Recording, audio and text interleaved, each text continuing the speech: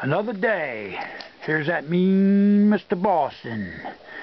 Ain't has a good day about him yet. Every day, one day he wakes up, thinks he's on top of the world, goes, eight foot tall. The next day, he's got a serious problem. You know, and that's why he drinks.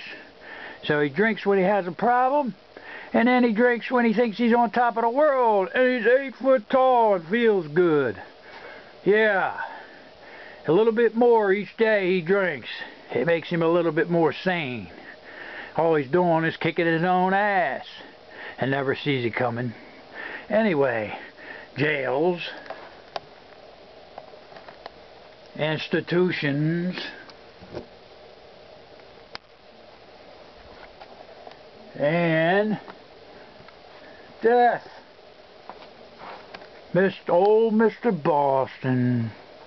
Just another day without recovery. And it drags him down to the bitter end.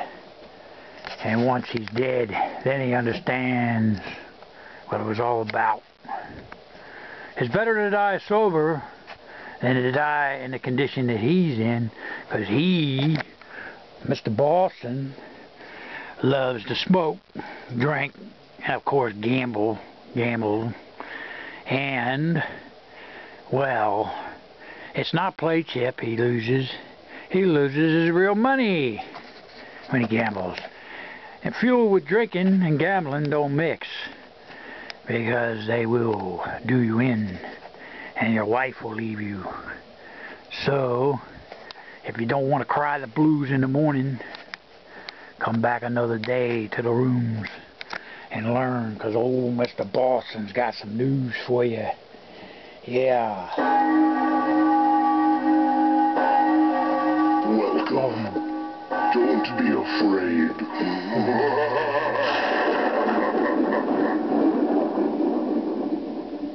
Do be afraid. I afraid. know you're dying For for some some brandy.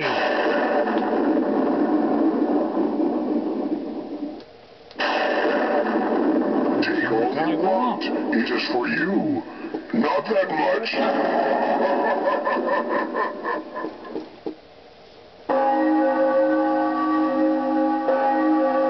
Trick or treat. Candy is for taking. Candy. If you dare.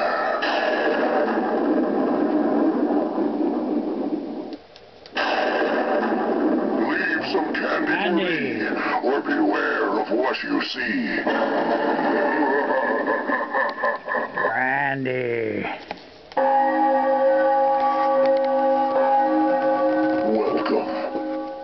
Don't be afraid.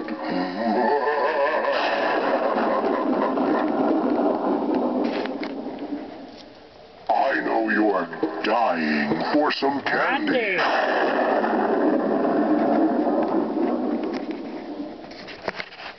Brandy.